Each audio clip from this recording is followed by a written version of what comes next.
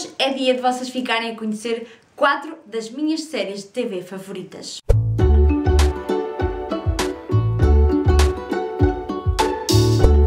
Olá pessoal, tudo bem? Hoje eu venho compartilhar com vocês quatro das minhas séries de TV favoritas.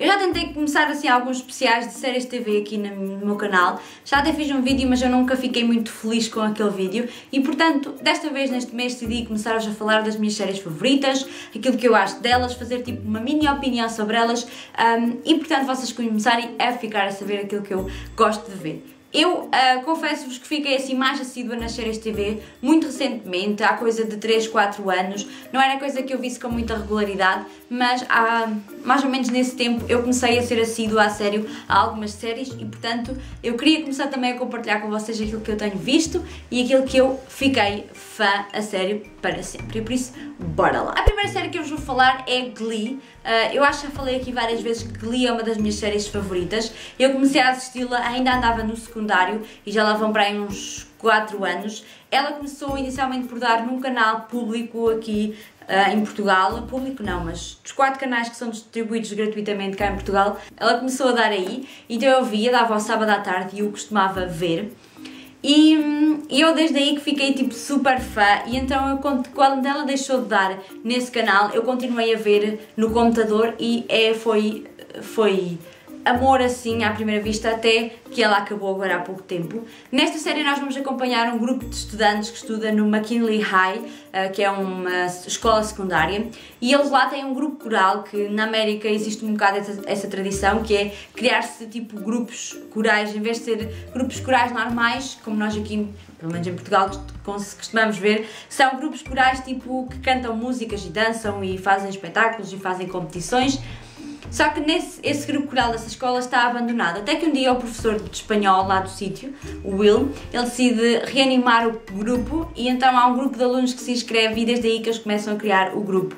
Um, e a história vai desde que eles estão no, no, secundário até que eles chegam ao primeiro ano de universidade, primeiro e segundo ano de universidade e tudo aquilo que implica uh, as amizades, os primeiros amores, as, as intrigas, a ida para a universidade, viver sozinho uma panóplia de assuntos que eles vão tratando. Ao mesmo tempo que eles vão introduzindo um, números musicais, uh, tanto do grupo como fora dele, como entre eles. Tipo, é uma série meio musical, meio drama, uh, meio comédia e é assim uma série que eu uh, adorei. Não, confesso que não é uma série que eu sei que toda a gente vai adorar, mas é uma série que eu adorei, portanto eu não podia deixar ela de fora.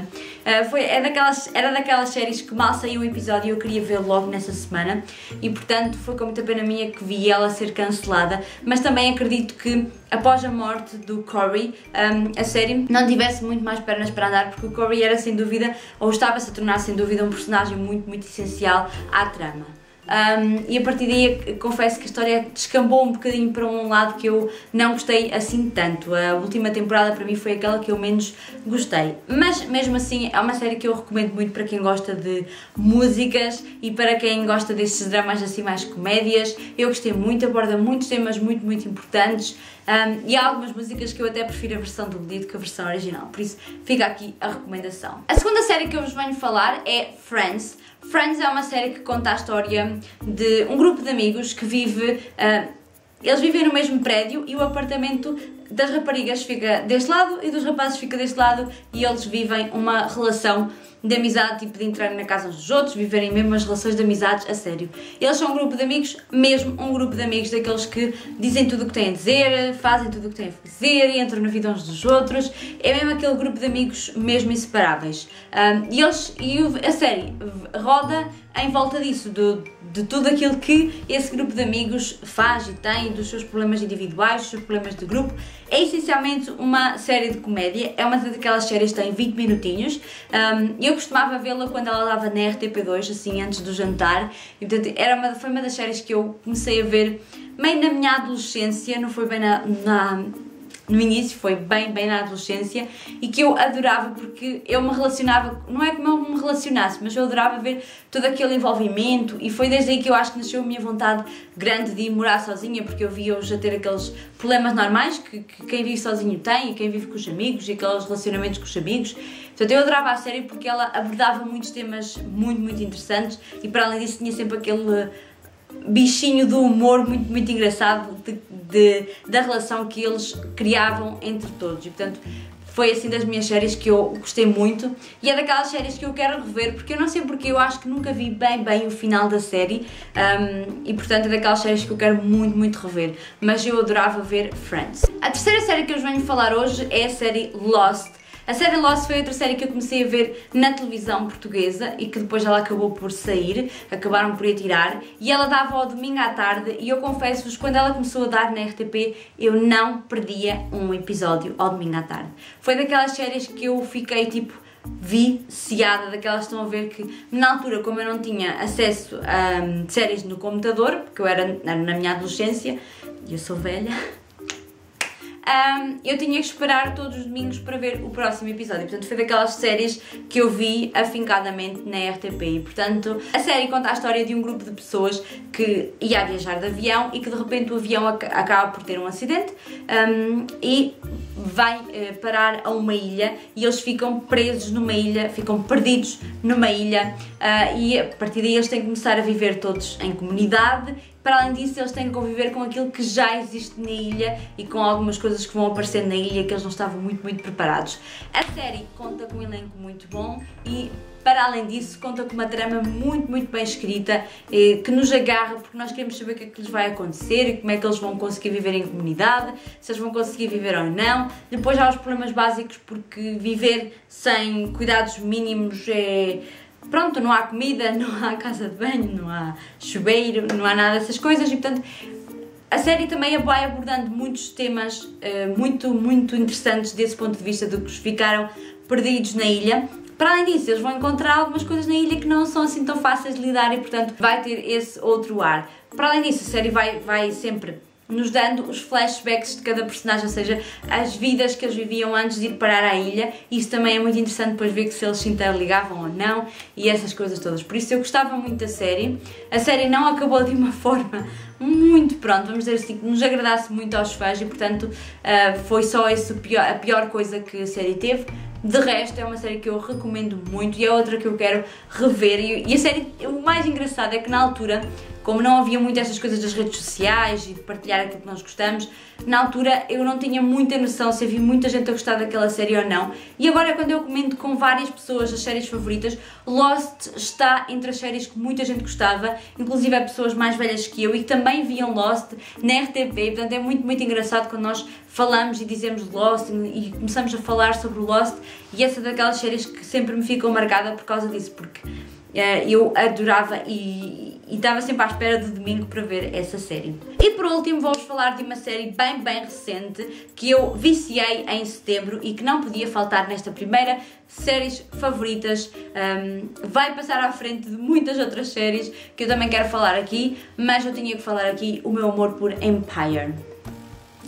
Eu viciei em Empire. Eu numa semana vi os episódios todos de Empire e simplesmente adorei. A série conta-nos a história de uma família que criou a empresa discográfica Empire, que, que agora começou por gravar e editar os sucessos do Lucius Lyon, que é o, que é o presidente da Empire, e que agora trata de. Um, gravar e editar muitos outros artistas do mundo da música, principalmente os artistas negros e aqueles que cantam rap e pop, essas coisas todas, e R&B, e soul, e, uh, essas coisas todas.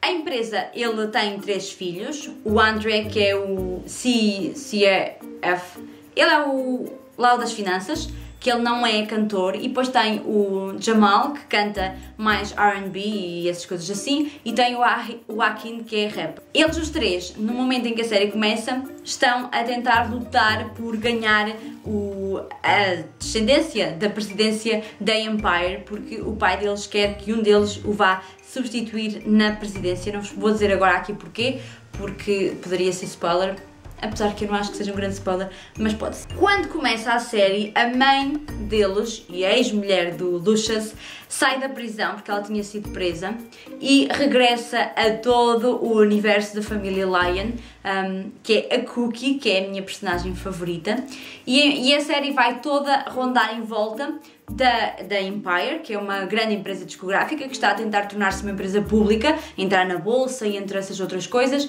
e é uma empresa que um, agrega e tem contratos com muitos uh, cantores famosos.